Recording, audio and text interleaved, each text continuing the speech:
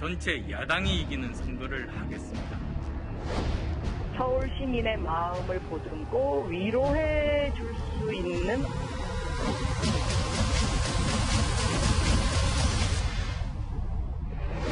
우리 언론에 오버하지 말고, 오버하지 말고, 그 선거에서 맡을 역할이 있으면 책임을 져야겠다. 저는 같은 현상이라고 저는 보고 있습니다.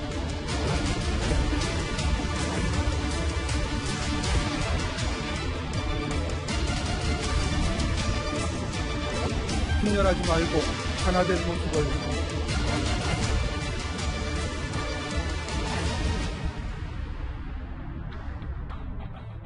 예.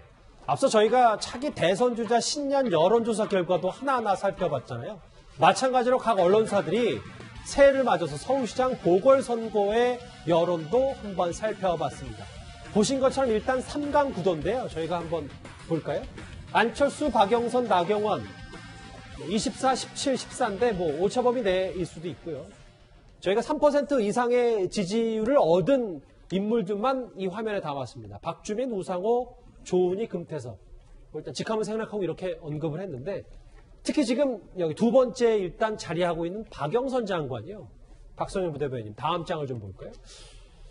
애초에 요즘 조금 고민 많이 하는 것 같더니 일단 시장 출마 결심을 좀 굳혔다 이렇게 좀 받아들여도 되는 겁니까?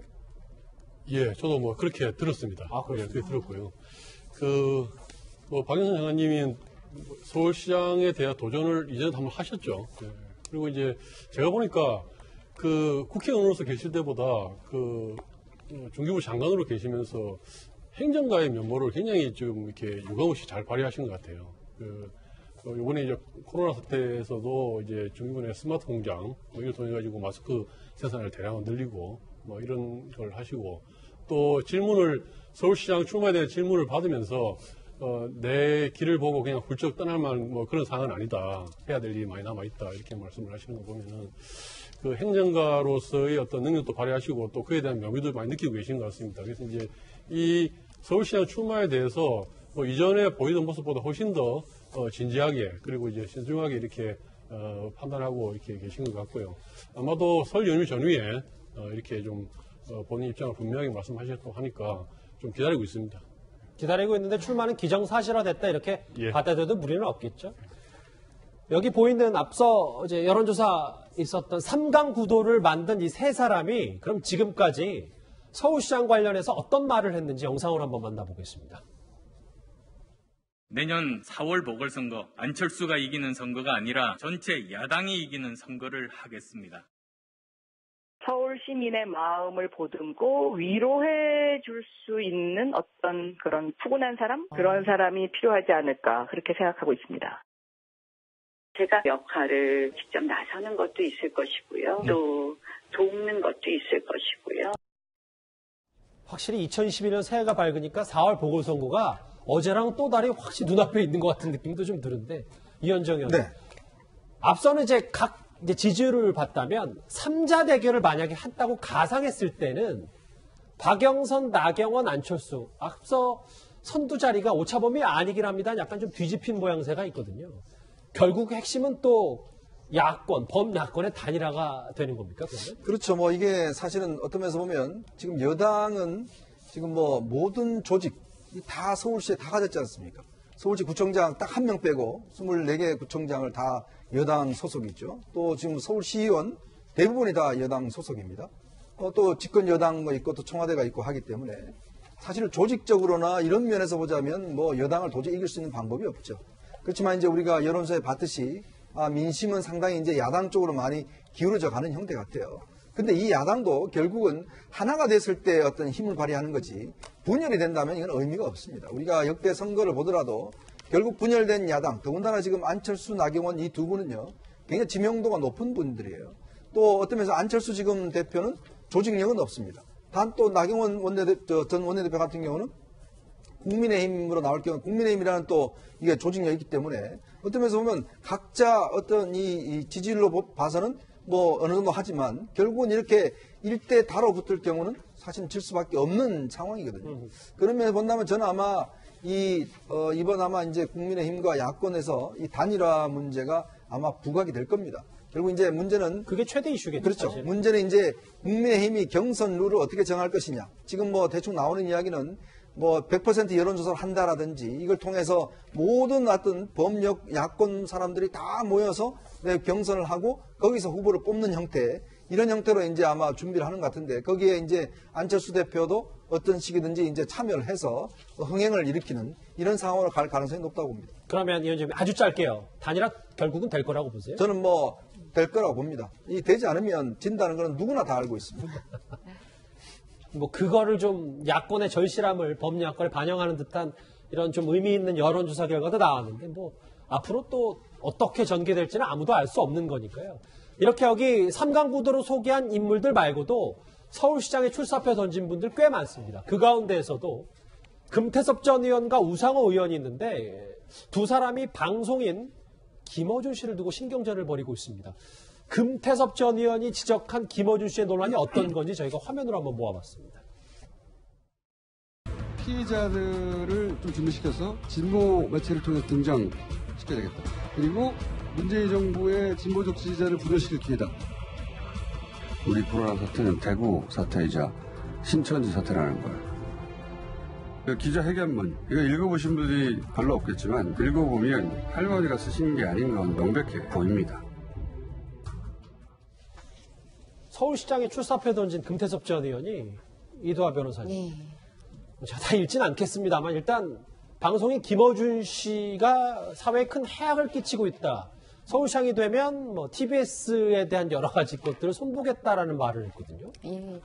어, 사실 그 금태섭 의원 입장에서 서울시장 출마를 할 때 공약을 이런 걸 내걸고 싶진 않았을 거예요. 좀 더 미래 지향적이라든가 아니면 비전을 제시해야 되는데 이 얘기를 하게 된 게 뭐 일단 이 부분에 대해서 관심이 많을 수밖에 없고 지금 말씀하신 것처럼 미투 운동 초기부터도 음모론을 제기해서 피해자에게 고통을 주고 그리고 서울시장 그 선거가 다시 하게 된 이유도 이와 관련이 있으니까 이제 연관돼서 언급을 하는 것 같고요. 그리고 그 방송사라는 게 공공재 인데 이 부분에 대해서 시민들 뜻을 묻겠다 이런 얘기를 하게 된 것 같은데요.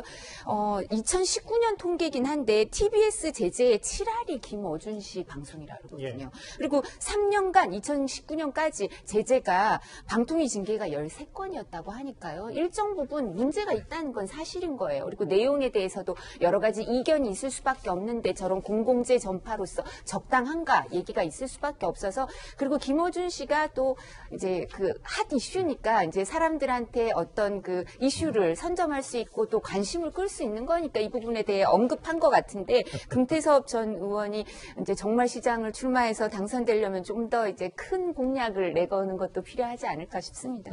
예. 뭐 여러 가지 해석들을 해주셨는데 반대편의 얘기는 이거예요. 우상호 의원은 김어준 씨는 성향은 드러내되 사실관계 기초한다는 철학이 분명한 방송인이다. 글쎄 서울시장 되려는 사람의 목표가 고작 김어준 퇴출이라니 이렇게 금태섭 전 의원의 말을 맞받아쳤거든요. 글쎄요, 김어준 씨가 그동안 사실관계 기초한 방송을 했나요? 그건 뭐 제가 굳이 말씀드리지 않겠습니다. 제가 언론인 어, 관점에서 보면 일단 뭐 방송 중에서 일단 국민의 세금으로 운영하는 방송은 공정성이 정말 생명입니다. 예. 지금 그래서 우리가 KBS에 대해서는 여러 가지 어떤 감시 장치와 국정감사도 받고 또 위원회도 하고 여러 가지 하지 않습니까? 우리가 왜냐하면 국민들이 시청료를 내니까요. 자, 지금 어, 이 TBS는 서울시가 전적으로 지원하고 있는 방송입니다. 서울 시민의 세금에 360억 원을 매년 지원하고 있는 방송입니다. 그리고 이게 처음에 생길 때 교통을 그 중심으로 해서 하는 방송이에요. 뭐 사적인 방송에서 김호준 씨가 뭔 이야기를 하든 저는 아무 상관하지 않습니다. 본인이 유튜브에서 뭐라 그러든 간에 그거 문제 삼을 수 없습니다. 왜냐하면 우리 표현의 자유가 있기 때문에. 그러나 기본적으로 국민들이 세금으로 운영하는 서울 시민들의 세금으로 운영하는 방송사라면 최소한의 공정성에 있는 가치. 왜냐? 자, 문제는 김호준 씨가 공정하다고 생각하는 분도 있는 반면 예. 그렇지 않다고 생각하는 분도 있는 거예요. 그런 면에서 본다면 그 교통방 TBS가 유지해야 될 공정성은 분명히 임무가 있는 거거든요. 아시겠지만 지난번 조국 사태 때 어땠습니까? 그리고 또 최근에 어떤 논란이 된 여러 가지 사태 때 어땠습니까? 아까 앞서 화면으로 좀 만나. 그렇죠. 뭐 그건 내가 일일이 말씀 안 드리겠습니다. 워낙 많아서 이 시간에 방송 할 수가 없습니다. 자, 그렇다면 기본적으로 그런 것들이 교통을 지켰는데 왜 내 세금으로 내는 방송으로 운영하는 방송에서 정말 어떤 면에서 보면 공정하지 않는 이야기를 매일 들어야 되는가에 대한 근본적인 의문이 있는 거예요. 그거는 서울시장이 해결해야 될 문제입니다. 과거 사실 국회에서도 김어준 씨 출연료 관련 논란이 좀 있었습니다. 화면 저희가 준비를 했거든요. TBS 프로그램 이 사회자는 라디오와 TV 동시 방송을 하면 출연료를 중복 수령하고 있습니다. 같은 방송인데요. 라디오 150만 원, TV 50만 원에서 하루 프로그램 출연료가 200만 원이라는 소문이 있습니다. 확인하기 위해서 자료 요청을 했는데 김호준 씨가 동의하지 않아서 자료 제출을 할 수 없다고 합니다. 3배에서 4배나 많은 보수를 받고 있고요. 이거 서울 시민의 세금입니다. 200만 원이라고 가정하면 일주일이면 1000만 원이고 1년이면 5억이나 되는 돈 인데 글쎄요, 뭐 서울시장 보궐선거에서 이 문제가 얼마나 화두가 되겠습니까만은 그렇게 중요한 문제는 아니니까. 그럼에도 박성현 부대변인, 그, 앞으로 이제 서울시장 보궐선거에서도 이제 공정성 얘기는 계속해서 나올 수밖에 없기 때문에 TBS나 혹은 뭐 여권 차원에서도 뭔가 이거에 대해서는 좀 개선책이 필요한 거 아닌가 하는 지적은 있거든요. 글쎄요, 저는 이제 어, 우리 사회가 지금 불편한 진실이 있죠. 어, 사실은 방송도 그 어느 쪽이 공정하다, 어느 쪽이 불공정하다라고 이야기하기 어려운 어떤 진영 간의 선호가 분명하게 있는 건 사실입니다. 예, 그래서 지금 김문현 씨 방송만 뭐 공정성에 문제가 있다라고 지적하는 것도 많은 그 반대 논고를 든 비판도 있을 수 있고요. 그래서 이제 이거는 직접 말하기 그렇습니다. 또 하나는 그 국민의 세금으로 운영하는 방송 뭐 이렇게 이야기를 했었는데요. 사실 대한민국의 방송 중에서 국민의 세금으로 운영 안 하는 방송이 사실은 뭐잘 있습니까? 예, 저는 뭐 그 직접 직접 한 기관이 운영하는 거냐 아니면은 뭐 방송 발전 기금도 여러 가지 다른 경로로서 운영하느냐 이 문제는 차이가 있, 있지만은 결국 국민의 세금입니다. 왜 공중파라고 이야기 아 전파의 공공성 이야기하는 것이 그때는 야- 나오는 이야기고요. 그래서 뭐 그거는 논란거리가 될 문제는 아니고 다만 그 서울시장 후보로 나온다는 그 금태섭 의원이 물론 저희 당에 있다가 나간 분이 라서 제가 좀 야박하게 말씀드리기 어렵지만 너무 찌질한 문제를 말씀하셨 어, 문제를 꺼냈다 생각을 하고 있습니다. 그러니까 수준이 조금 떨어졌다 뭐 이렇게 저 순화를 하겠. 아이고, 예. 알겠습니다. 오늘 좀 깜짝깜짝 놀라는 말이 많은데요. 새해 첫날 다 이러시면 안 됩니다. 알겠어요. 서울시장 보궐선거 4월에 있을 얘기 하나하나 정리해봤습니다.